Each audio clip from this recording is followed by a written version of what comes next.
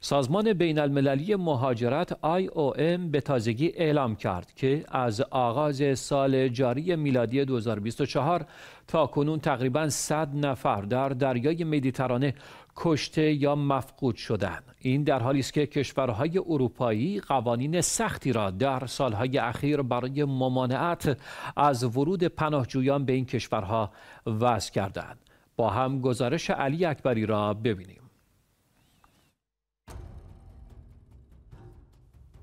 بر اساس داده های رسمی تعداد سالانه مرگ و میر و ناپدید شدن مهاجران در کل دریای مدیترانه از 2048 نفر در سال 2021 به 2411 نفر در سال 2022 و به 3041 نفر تا پایان سال 2023 افزایش یافته است.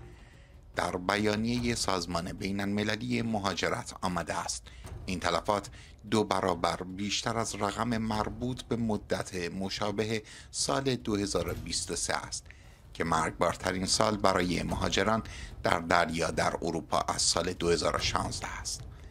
امی پوپ دبیر کل سازمان بین المللی مهاجرت در این باره گفت حتی یک مرگ هم خیلی زیاد است آخرین رکورد مرگ و میر و ناپدید شدن. یادآوری واضحی است که یک رویکرد جامع شامل مسیرهای ایمن و منظم تنها راه حلی است که به نفع مهاجران و کشورها خواهد بود. این در حالی است که کشورهای اروپایی قوانین سختی را در سالهای اخیر برای جلوگیری از ورود پناهجویان به این کشورها وضع کردند. به تازگی دولت انگلیس اعلام کرد که با وجود مخالفت سازمان های حقوق بشری مهاجرانی که به صورت غیر قانونی به این کشور وارد شده اند را به کشور آفریقایی رواندا تبعید می کند. پیشتر وزرای کشور اتحادیه اروپا با طرحی در مورد بازنگری در رابطه با سیاست مهاجرتی و پناهجویی این اتحادیه موافقت کردند. این طرح که برای اجرایی شدن باید توسط پارلمان اروپا تایید شود در حالی ارائه شده که در سال 2023 تعداد افرادی که با قایق از طریق دریای مدیترانه وارد اروپا شدهاند افزایش قابل توجهی داشته است این در حالی است که سالانه هزاران نفر برای رسیدن به اروپا در دریای مدیترانه غرق می شوند.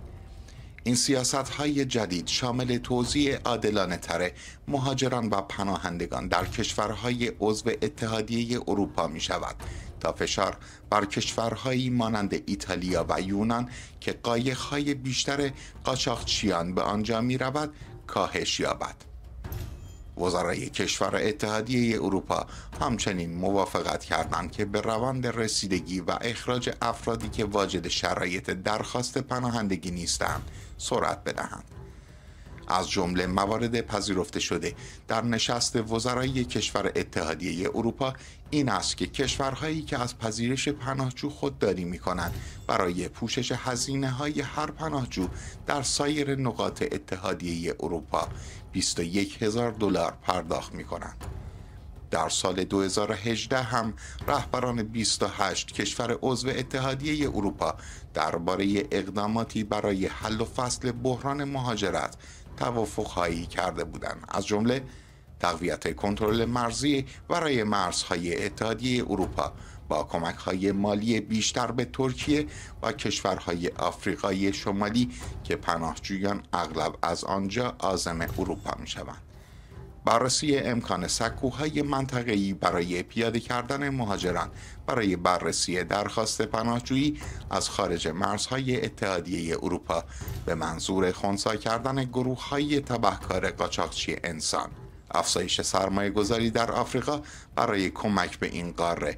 برای دستیابی به تحول اجتماعی اقتصادی تا به این ترتیب دیگر مردم این قاره نخواهند آنجا را برای زندگی بهتر به مقصد اروپا ترک کنند. علی اکبری اخبار شیعه.